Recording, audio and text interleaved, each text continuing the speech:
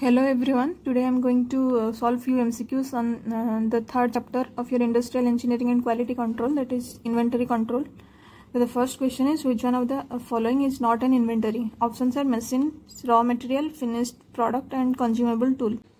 So from the options, you know the raw material uh, you um, initially purchase the raw material in a lot, then you store it uh, to make your product. So this comes under your inventory. The finished product um, after ma making the product, you also, for example, the cars after making the cars, suddenly you don't sell, right? Uh, so you uh, store those things in a particular place um, particular room or uh, place. So this also comes under your inventory. Next, consumable tools consumable tools mean the uh, means uh, uh, the things which you consume or use uh, during production like uh, um, your pen or paper or uh, the ink of your printer those things comes under consumable tools. So after some time you use then some of, it you throw it. So these kind of things comes under inventory only the machines that doesn't comes under your inventory. The inventory are basically those things we uh, which you um, those things i mean those goods which you uh, store uh, to make some uh, product or to uh, resell it or to repair something or uh, during the production whatever you store to use that things comes under your inventory. And not only during the production after the production also the finished product you store it for some time to uh, finally sell it. So uh, these also comes under your inventory. Second question is the following uh, classes of the cost are usually involved in inventory decision except we use um, while taking inventory decision we use the cost of ordering cost of carrying and cost of shortage to find out the economic order quantity. So these includes uh, first three things we generally doesn't include the machining cost third question is cost of insurance and taxes are included in. So cost of insurance and taxes are in comes under uh, inventory carrying cost. And the things which you do to um, expenditure you do to i mean uh, carry your uh, inventory that is your raw material or finished good or any other things that comes under inventory carrying cost. So the cost of insurance and taxes also comes under inventory carrying cost. Which one of the following is true for inventory control? Economic order quantity has minimum total cost per, per order. Inventory carrying cost increases with quantity per order. Ordering cost decreases with lot size.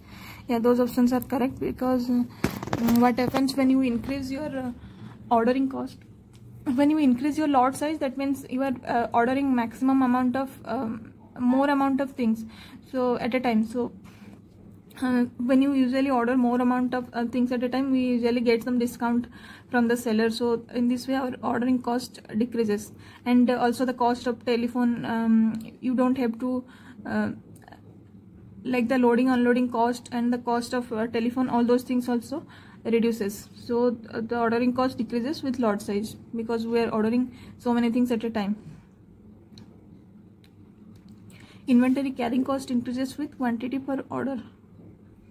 Yeah if you are ordering more amount of quantities then uh, obviously you have to store that uh, those things. For that you have to uh, give the house rent and you have to keep someone to uh, look upon those things. So in this way the um, expenditure will increase.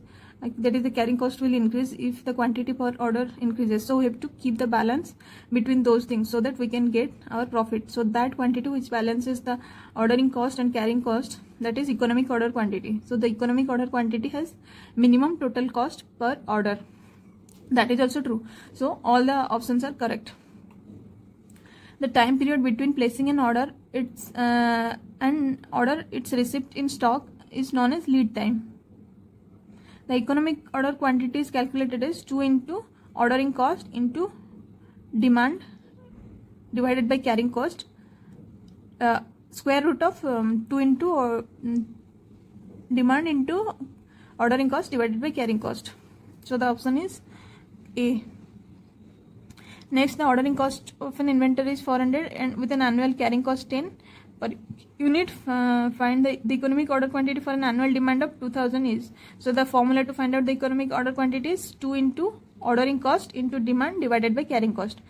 Um, square root of 2 into ordering cost divided by um, 2 into ordering cost into demand divided by carrying cost. So that um, answer is 400 so um, this type of question usually it will take uh, one minute to solve. So you can expect this uh, type of question also in the exam. So little more calculation also come in the exam. Uh, question number 8 which one of the following is the function of inventory?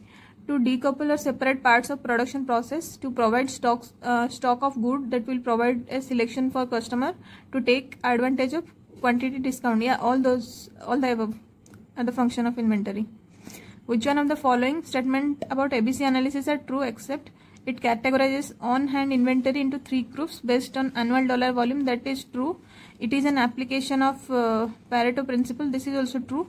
It states that all items require same degree of control. No it doesn't require same degree of control so uh, we classify um, the items based on their uh, annual dollar volume as critical item more critical item less critical item. So uh, different all those categories requires different degree of control. So uh, the option c is incorrect.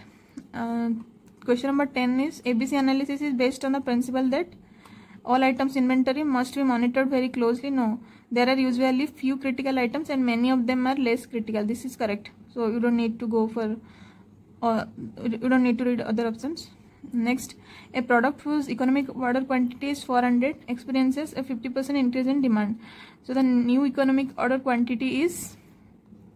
Your formula for economic order quantity is that is EOQ is 2 into ordering cost into annual demand divided by carrying cost root over.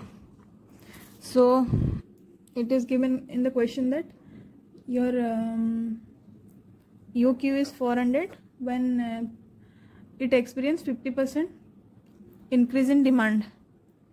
So um, if demand will increase 50% then EOQ1 will be 2 into C0 into 50% increase in demand means D plus 50% means 50 by 100 1 by 2 that is 0.5 D. So new demand will be 1.5 D. So now its demand is 1.5 D divided by CC square root. So square root of 1.5 will take it to outside into square root of 2C0 D divided by CC.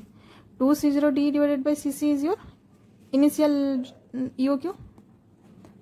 So 1.5 into EOQ that is that is given as 400 1.5 square root into 400 so after calculating I got the new as uh, 489.897 so what is the percentage increase? That is final minus initial divided by initial into 100 so the final value is 489.894 initially the economic order quantity was 400 divided by 400 into 100 so that is 22.474 so um, the answer is it will increase by less than 50 percent. So option b is correct. Next uh, which one of the following statement about basic economic order quantity model is false?